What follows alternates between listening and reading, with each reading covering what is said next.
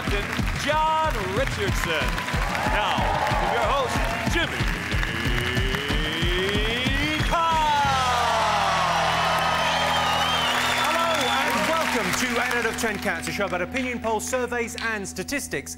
Did you know, for example, male sparrows chirp insults at each other when trying to attract a mate? Mainly, you looking at my bird? 68% of teenagers say they've changed their eating habits as the result of celebrity chefs. They say celebrity chefs, they mean Ronald McDonald and Colonel Sanders. and 4% of the British population say they might be bisexual. Well, you either are or you aren't. You can't have it both ways. right, let's get started.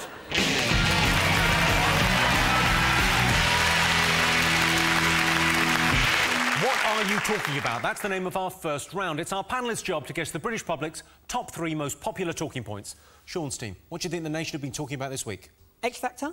Uh, have you been talking about X Factor? What's been going on in X Factor? Tell me Well, everything. There's been the, the bullying with Yeah. Misha and whoever else she was doing it with. It's Misha B, isn't it? yeah, Misha B, you get She's- me. You- I love Misha B, though. You love Misha B? about- Yeah, I don't think it was bullying. I think it was just showbiz banter. She was meant to be bullying Sammy. Sammy, Um, the, yeah, but um, Sammy said she wasn't. Sammy said, look, I'm six foot two, 20 stone. Uh, who said, sorry, who said this? Sammy. Could you say that again, please? Yeah, Sammy. Sorry, who was it? Look, if you want me to spit at you, I said Sammy. I said Sammy, Sammy, Sammy. Ironic that we're talking about bullying as I do this. Say Sammy again. I like it. Sammy. So, all that I should just. I, I, should just say, because I was teasing you a little bit Yeah. there, if you're being bullied because you've got a speech impediment, there are people you can talk to. but it will take fucking ages and they may be But, but Sammy said, Sammy said on this morning that she weren't bullying me. Look, I can handle myself. Look at me. I'm six foot two, whatever, with the heels on. I think that is. If she's six foot two without heels, that's a worry. No wonder she took her shoes off when she done the final song on X Factor. Because honestly, getting excited when you're six foot two in a bad pair of heels is awful. I would have bullied her as well in that dress, because really, I mean, going out there in that. Did you see it? It had that like sort of leather bit in the middle. Which wasn't right. I know she can't, you know, you can blame the stylist for that. But anyway, so apparently she Just got some- here's some full stops if you want to use them.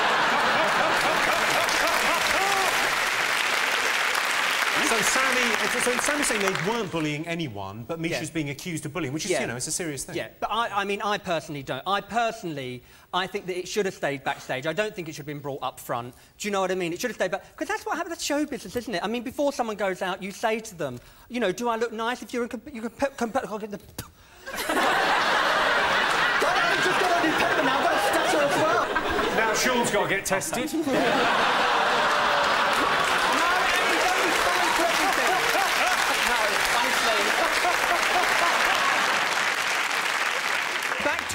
to back to Back to I- X I, Factor. yeah, I personally think it was like I say, just just backstage. If you're in competition with someone and they say, you know, before you go and say, "Oh, how do I look?" You say like "fucking shit." you know, you want them He to feel bad, that, and I, that's what that. I think it is. Sorry, Joe, he didn't. He did say that. And he, he was right that time, wasn't he? So I don't know. I don't know. I love the fact that Joe and Louie are on the same team. It's just. Two peas in a pod. I've been practicing. Biology teacher, isn't he?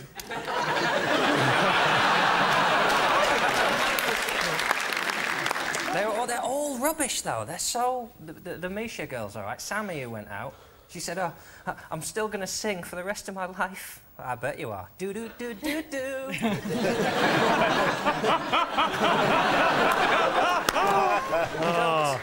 Frankie Cocozza is the most objectionable human I think I've seen on anything. No! He's worse than Gaddafi. I'm going to say it now. Let's have a look and see if the X Factor is up there. Yes, indeed. Yes, the X Factor bullying scandal has been in the news. They should have kept Sammy in, not because she's good, but to help balance the stage when Craig is on the other side. Jon, Shappi, Elis, what else have people been talking about this week? Libya is free. No? All right. Well, it's one of those things you get over quite quickly. I, uh, I was glad on the video to see it was definitely him because I read in the paper they said that the, the man they'd shot lived on his own in a house with no electricity. Uh, he was living on ready meals and all he had was a Liverpool FC mug and a signed picture of himself on the wall. And I thought, they've shot John Parrott. I reckon he asked himself for a picture of himself. Can you imagine that? Oh, um, can I please have a signed photo of you? Not now, I'm eating. OK, I'll wait. He was that bonkers. Or if he was That's all right. bidding for his own signed photo on eBay. I bid for his body on eBay. I thought you could. Oh. Because he was in this cold meat store And everyone was going to take photos with this dead body. And that's like redefining the word fridge magnet. And it's the, it's the ultimate Facebook profile photo. You and a dead Gaddafi going, Uh, when, when, I, when I heard Gaddafi was shot, the first thing I thought of, I thought about is I wondered what they were going to do with his waxwork model in Madame Tussauds. Because it's really good. It just like- got it's better quite- as they left it closer to the heater. he had a lot of work done, didn't he? Yeah. Would no, you he had- Would you ever consider going down that looking road? like Gaddafi. Have you, you've, you've I've had had Dick, darling, but I ain't been a dictator. Lewis, thanks, Alan. Um, Have you Louie, put that, you should put that to music. I'm a dick, darling, but I'm dictator. No, I wouldn't. Well, I would. well, I have you don't- ever had any work done? Yes. What have you had done? Well, no, only Botox. I've had Botox as well. Have um, you? Yeah, I didn't. I was not You on should me. get your money back. I didn't. I didn't. Have it, I, Oh, I do that again? That's extraordinary. I know. Yeah, I make Ramsey look like Hannah Montana. they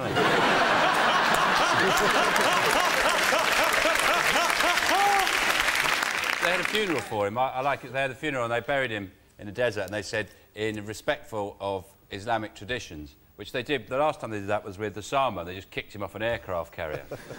Wonder when they catch Assad, they're going to cover him in Bovril, fire him out of a cannon into a lion's enclosure. Go, well, that is respectful of Islamic traditions. That's what they do.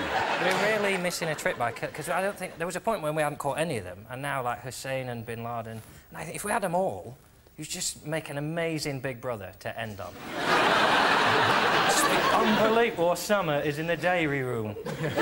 Saddam Hussein is on the beanbags. Trying to fundamentalise Kerry Couture. Let's have a look and see if Gaddafi is one of the most talked about things this week. Of course. Of course. Yes, this is the news that Libya is free now Colonel Gaddafi has been killed. I was horrified when I saw those awful pictures of his smashed in face, and then they shot him. Join us after the break, and we'll be finding out which other stories are the most talked about things this week.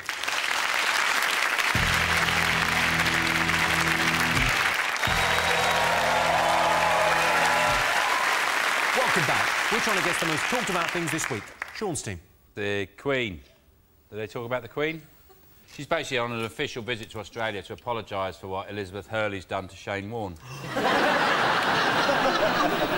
like, I like the fact that if, if Liz Hurley and Shane Warne get married, it'll be the bride and overgroomed. He's basically, we've, we've turned him into a woman. Uh, we apologise for that. He's now completely waxed. In fact, we've laminated him. uh, she's gone over there. And she was mooned at. Apparently some, some Aussie... Some arsehole. Yeah. Someone mooned at her, and people they were shocked. They said, "Oh, the Queen's been mooned at." You're thinking, "Well, the Queen, she's seen everything. She's got eight corgis for Christ's sake. The, the stuff she's seen, she's seen like brother on sister, father on son. She's just seen it all. It's just disgusting." She goes, "Benji, you can't be doing that to Martha. This is just, she's seen it all over the years." she gets for doing ordinary stuff. Yeah. Oh. Because the papers go, well, basically reporting that she's on a jolly for 10 days, getting flown around the world, smiling at people and shaking hands. So they go, yeah, but she's worn that dress before. Yeah. Go, well, whoopee shit. I've had these pants on for a month. Nothing. But you know what happens to the Queen's clothes? The, the reason they're surprised is, is all her clothes get ruined by corgis. she goes up to the bedroom, the corgis just rip them off. Like, just strip her naked with the corgi. Prince Philip's there going, thank you, my pretties. I don't understand why she's gone on a state visit, which is supposedly like, you know, because you're ours, so I'm going to pop over and check you're not screwing it up. And that's like your boss phoning ahead and saying, I'm going to come in tomorrow. It's like, right, well, I'll turn up. If, she, she, if she's going to go, she should have to go as, like, the secret millionaire and just, like, put a cap on, get a budget flight out, just, like, a cap pair of jeans and just sit in a bar going, So, what do you think of this bloody queen then? That is an amazing Queen doing Australian. do, do that again. That's an incredible. I seen that bloody. bloody crocodile Dundee on the plane over here. bloody racist, that, I think. I would go as far as to say you should stop using any other voice. I went to Australia. I didn't find them very welcoming because I'm, I'm quite fair skinned and wearing shorts was a big deal. So on the first day I was there, I walked into a cafe and the guy behind the counter looked up at me and went, I don't know where it is you're from, mate, but I'm guessing it's winter there. I'm from Wales. It's been winter there for years.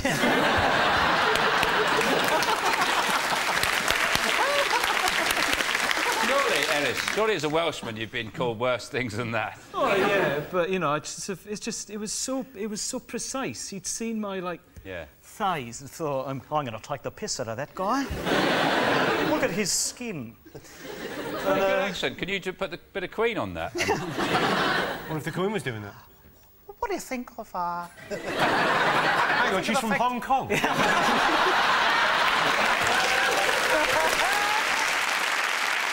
Well, I can tell you that's not one of the most talked about things this week. But the Queen, as head of state, is obviously staying in Australia's most prestigious hotel, Lassiter's.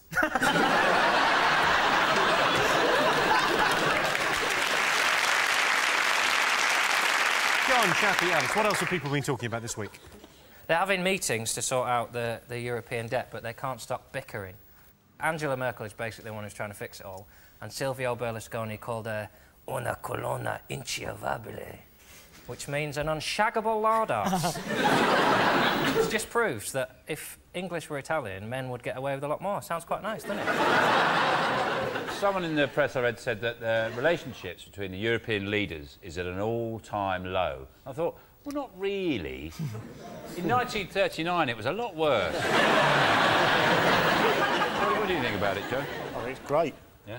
Yeah, looking forward. to- That's the wrong answer. Oh, shit.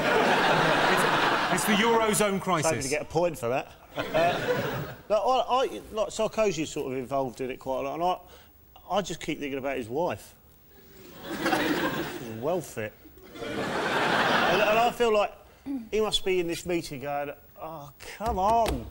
I want to get home and... ugh." I know Eurozone, but... Oh, God, it's... Oh. You've really, you've really sort of got into the psyche Yeah. of a, a French man, I feel. The Belgian finance minister left one meeting early because he had tickets to see Tintin. and I like the idea that when he was excusing himself, they're like, right, OK, what are we going to talk?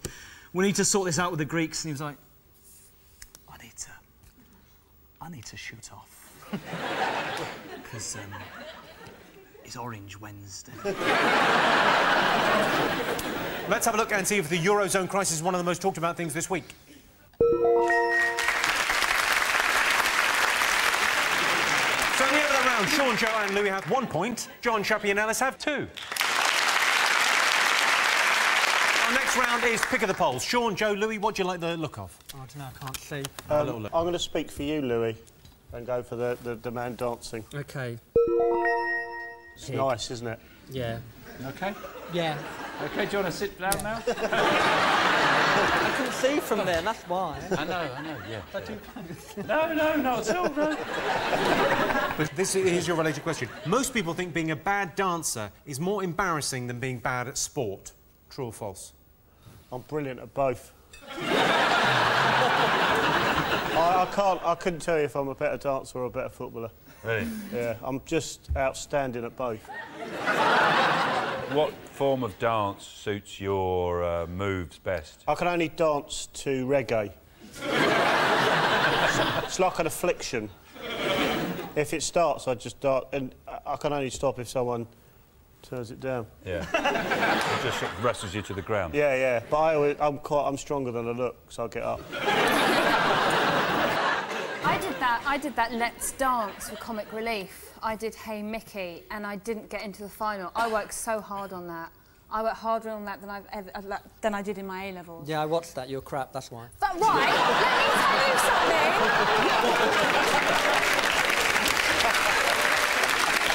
me tell you something. Sorry, can I, can I, can I get a saucer of milk, please? 'Cause I Louie' claws so are hard, out. Louie. I practiced so hard, I actually fractured my wrist. Did you see my cartwheel? Fractured your I wrist? did that on a fractured wrist. Uh, that wasn't a okay, and cartwheel. afterwards I. How did you fracture your wrist practicing? Oh God! Look, What were you, go, doing? What was the dance? You go, oh Mickey, you're so, and I did it like that. Hey Mickey. In my kitchen, I have a small kitchen, and I twatted it on the kitchen handle. And that, sorry, and I that, sorry, your dance, I didn't see it, but your dance was that. really? And you didn't get through to the final? You were robbed. That's amazing. That's what they do at Heathrow to direct planes. Oh, you're all right, you all right, love? Just having a dance.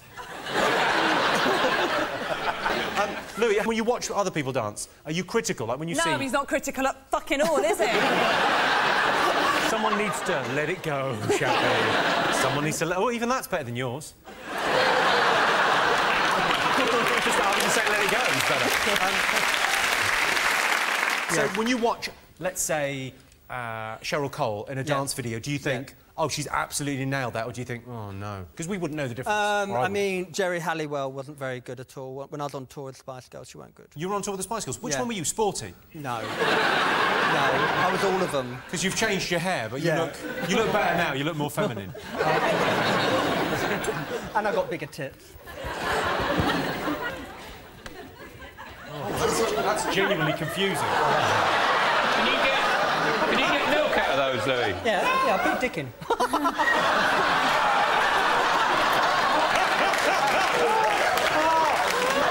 Literally my favourite guest. Literally my favourite guest we ever have. Oh. Anyone got oh, anyone any whiskey? I don't understand what's happening.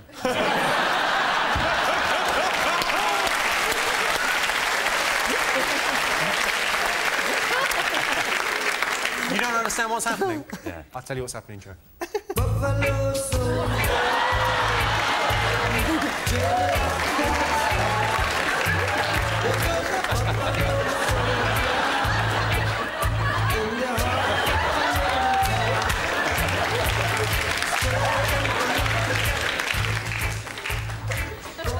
Stop looking at me like that. I just thought you'd join in. That's Buffalo Soldier and more sort of Buffalo Seizure. OK, so let's get an answer on this question. Most people think being a bad dancer is more embarrassing than being a bad at sport. True or false? What do you think? I think it's probably true. You think it's true? OK. What do you think, Jon? well, there's no such thing as dance, is there, really? What, what, sorry? It's just arrogant walking, isn't it? I challenge you I challenge you! You know what, Louie? I'll, I'll stick on some music, go over there, give him what for.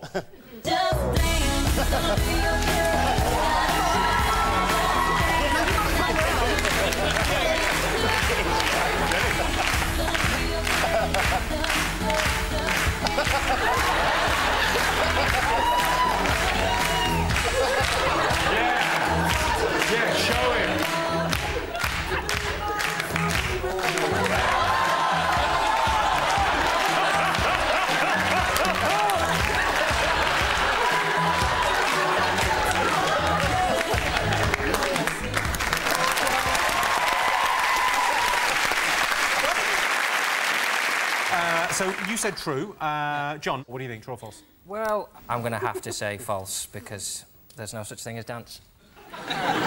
He's learnt nothing this evening. OK, well, I can tell you the answer is true. Yeah, 64% of people think being a bad dancer is more embarrassing than being bad at sport. I quite often catch a girl's eye when I'm dancing, usually with my elbow. And the winner is, is the name of our final round. Here is your question. Most useful thing your parents teach you? Cooking, cleaning, sewing. That's what I learned from my dad. My mum taught me how to make jokes based on stereotypical perceptions of gender. That is good, though, isn't it? My dad said uh, if you go to university, you get catered halls. And I asked why, and he went, before I met your mother, I lived on boiled eggs and club biscuits. And I said, what happened? And he went, I got really horrific depression. and he just left it at that. My parents taught me this. Oh, do that again. That's Yeah. They, they taught me that. That's, that's what they've given me. Are they circus folk?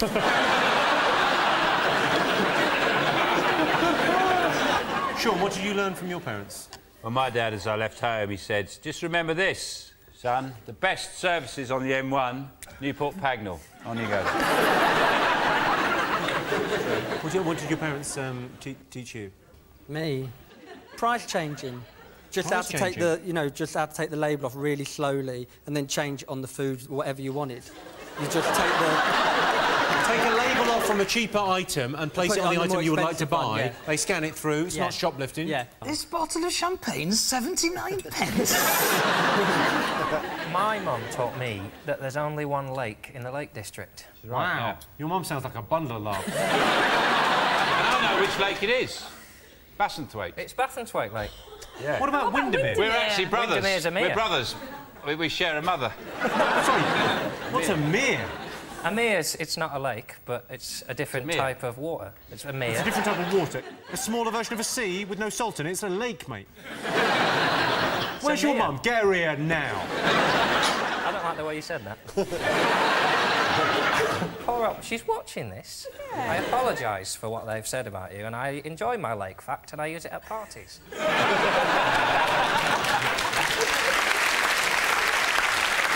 I'll give you a clue. It's to do with spending. Always marry into money. Don't get in debt. Well, it's, you're pretty close with that. Well, don't get in debt. Really don't get in debt. I'll tell you the answer. It's the value of money. My parents taught me how to be self-reliant. Even now, if something goes wrong at two in the morning, I'm the one that gets up and phones my agent to send someone round to fix it. That sound tells me it's the end of the round and the end of the show, which means the final scores are Sean's team have two points and Jon's team have two points. Everyone's a winner. Thanks to all our panellists, our wonderful studio audience, and to all of you for watching at home. If you want more, tune in tomorrow night to 8 out of 10 Cats Uncut. That's it from us. Good night.